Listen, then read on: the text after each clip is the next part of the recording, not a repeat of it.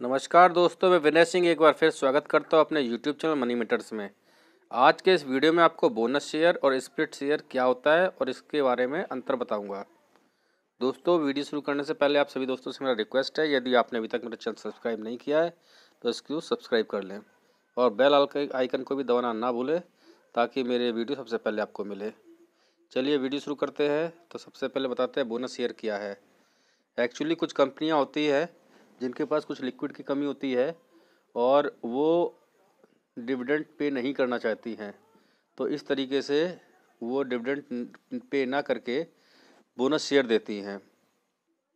इस bonus share में कभी कभी ऐसा भी होता है कि उनके पास लिक्विड होता भी है, पर वो बोनस शेयर इस वजह से और देती है कि उनका जो टैक्स है, वो टैक्स बच जाए। तो टैक्स को बचाने के लिए भी देती है और उनके पास जो एक्स्ट्रा मनी होती है लिक्विड होती है, उसको वो यूज़ कर लेते हैं।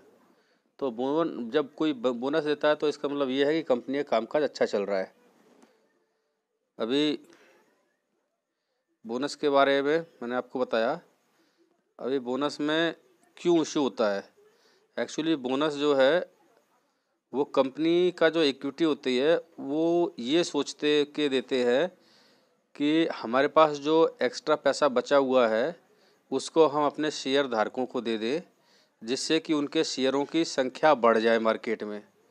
और वो इसलिए बोनस इशू करती है। इसी का सेम उल्टा बाईबैक होता है। बाईबैक में शेयर्स की संख्या कम करने के लिए कंपनी अपने रिज़र्व का यूज़ करती है। और यहाँ वो अपने रिज़र्व का यूज़ कंपनी पैसे, अपने शेयर्स को बढ़ाने के लिए करती है। बोनस शेयर देने में कोई भी किसी भी तरीके से कंपनी की जो है वैल्यू में कोई परिवर्तन नहीं होता है। तो इसलिए बोनस एक बहुत ही अच्छा तरीका है और इसमें जो कंपनी के ऊपर जो टैक्स गवर्नमेंट ने लगाया लगाया था, अभी उसको हटा लिया है, उस टैक्स से बचने के लिए भी कंपनियाँ बोनस दे देती थी। अभी अगर हम बोनस की बात करें तो बोनस में क्या क्या चीज़ें होती है? बोनस में एक्चुअली इंडिया के अंदर में होता क्या है कि टी प्लस टू का सिस्टम है।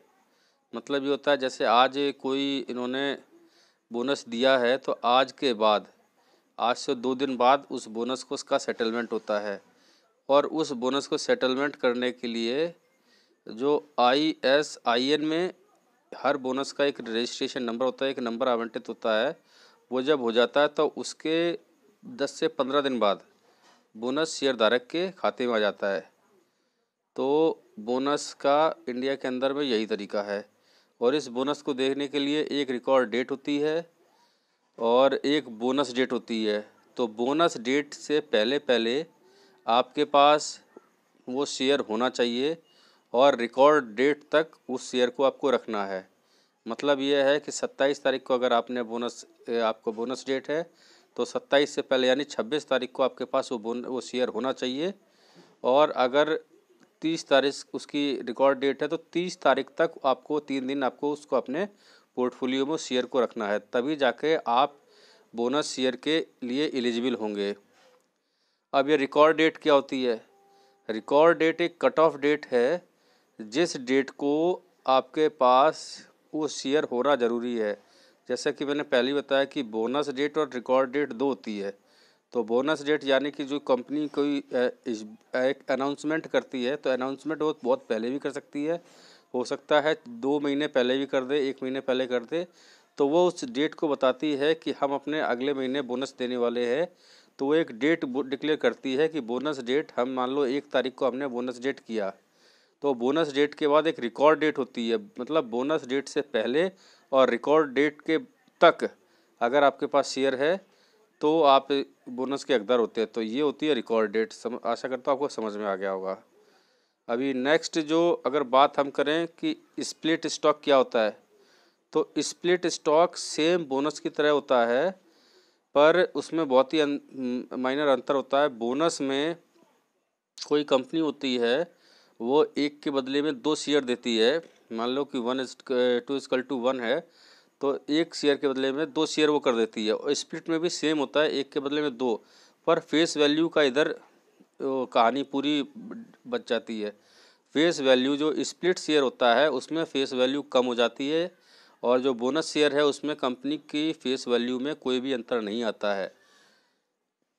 अभी आपको नेक्स्ट जो इसका मैं पूरा फाइनली बताऊँगा। अभी आरती इंडस्ट्रीज़ ने, अभी हाल ही में एक अपना बोनस इशू किया है। इसका प्राइस लगभग सोलह सौ रुपये चल रहा है।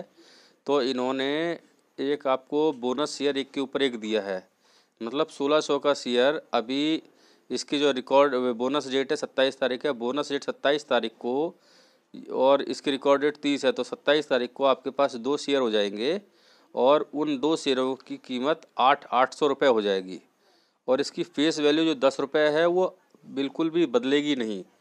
आपको समझना चाहिए कि बोनस शेयर में कंपनी की फेस वैल्यू नहीं बदलती है और आपको जितना भी बोनस इशू होता है एक शेयर के ऊपर, उस हिसाब से आपका जो उसको डिवाइडेशन के बाद आपका निकल जाता है। वन इजकल टू वन का अगर है तो एक का डिवाइड हो जाता है, एक हाफ़ हो जाता है तो सोलह सौ का जैसे आधा आठ सौ रुपये अब इस आठ सौ रुपये के ऊपर आपको फ़ायदा क्या होता है बोनस में?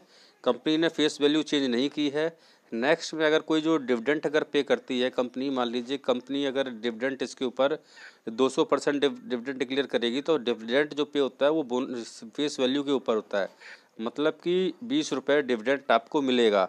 तो अब क्योंकि आपके पास डबल हो गई है बोनस के बाद एक्स बोनस के बाद अगर डबल हो गई है, दो सौ हो गई है तो आपको जो पहले सौ मतलब दो सौ रुपये मिलने थे, वो दो सौ ना मिल के अब चार सौ मिलेंगे, क्योंकि आपके पास दो सौ मतलब डबल हो गए तो ये होता है कि फेस वैल्यू चेंज ना होने से जब आपको डिविडेंड कंपनी पे आउट करती है, उस टाइम पे बोनस शेयर वाले को फ़ायदा होता है। अब हम आपको बात करते हैं स्प्लिट शेयर की। तो इसी, इसमें अभी परिपेक्ष में अभी HDFC ने अभी अपने शेयर को स्प्लिट किया है। स्प्लिट्स कंपनियाँ क्यों करती है? स्प्लिट भी करती है तो उनका ये रीज़न होता है कि उनके शेयर की वैल्यू बहुत ज़्यादा हो चुकी है। जैसे कि आपको पता है कि कंपनी के शेयर की वैल्यू लगभग बाईस सौ रुपये हो चुकी थी तो इन्होंने अपना स्प्लिट किया है तो स्प्लिट के बाद इसकी वैल्यू ग्यारह सौ रुपये हो गई एक शेयर की। और इसमें स्प्लिट में आपको दो शेयर मिले एक के बदले में, बट इसमें जो फेस वैल्यू है, वो भी दो रुपये की जो थी, वो एक रुपये हो गई है। मतलब फेस वैल्यू आधी हो गई है। तो इसमें जब डिविडेंट पे आउट होगा तो आपको कोई भी अंतर नहीं आएगा। जो आपको डिविडेंट बाईस सौ रुपये पे मिलता, वही डिविडेंट आपको अभी दो शेयर मिलने के बाद मिलेगा। तो इसलिए जो स्प्लिट शेयर है, उसमें फेस वैल्यू कम होने की वजह से डिविडेंट पे आउट करते टाइम कंपनी को कोई भी दिक्कत नहीं होती है। पर अमूमन ये देखा गया है कि स्प्लिट होने के बाद शेयर के प्राइस रेट भागते हैं, क्योंकि वो अफोर्डेबल हो जाती है। और ये जो कंपनी जिसको आप बाईस सौ रुपये में एक शेयर नहीं खरीद सकते थे, अब ग्यारह सौ रुपये में आप एक शेयर खरीद सकते हो। तो इसलिए कंपनी जो है अफोर्डेबल हो जाती है, लोग इस पर पैसा लगाने लगते हैं। तो ये पूरा तरीका आपको मैंने बताया इस वीडियो में कि बोनस शेयर और स्प्लिट शेयर में क्या अंतर है और बोनस शेयर और स्प्लिट शेयर से निवेशकों का क्या फ़ायदा होता है। तो उम्मीद करता हूँ वीडियो आपको पसंद आया होगा और आप बोनस और स्प्लिट शेयर के बारे में अच्छी तरीके से जान गए होंगे। फिर भी अगर आपके मन में कोई विचार है, कोई कमेंट अगर आपको करना है तो बताइए, मैं आपको उस कमेंट का बिल्कुल जवाब दूँगा। वीडियो को अंत तक देखने के लिए धन्यवाद।